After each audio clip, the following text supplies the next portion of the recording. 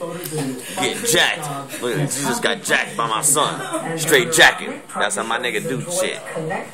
Hood jacking. Hood jacking.